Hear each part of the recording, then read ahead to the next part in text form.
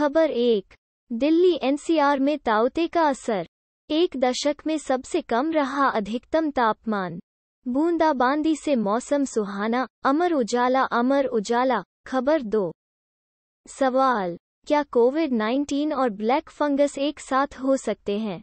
यहाँ जानिए क्या कहते हैं विशेषज्ञ। अमर उजाला अमर उजाला। खबर तीन। कोरोना वैक्सीन की कमी पर बोले नितिन गडकरी। घरेलू कंपनियों को मिलना चाहिए लाइसेंस।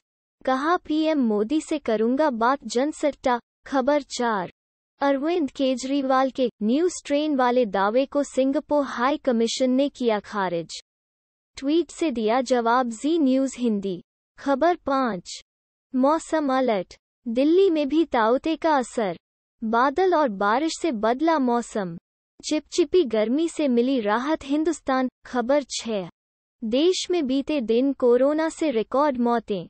24 घंटे में सबसे ज़्यादा 4,525 मरीजों की जान गई।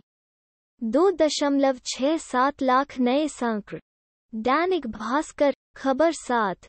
प्लाज्मा थेरेपी के बाद अब रेमडेसिविर के इस्तेमाल पर भी लग सकती है रोक प्रभात खबर खबर आठ। यूपी में योगी के एक और मंत्री की कोरोना से मृत्यु। अब तक तीन मंत्रियों की मौत, बीबीसी हिंदी, खबर नौ। कोरोना वैक्सीन की आपूर्ति पर सीरम इंस्टीट्यूट ने फिर खड़े किए हाथ। कहा, दो माइनस तीन महीनों में सबको टीका लगाना मुश्किल, प्रभात खबर खबर दस। Compensation for corona affected families ration pension पढ़ाई।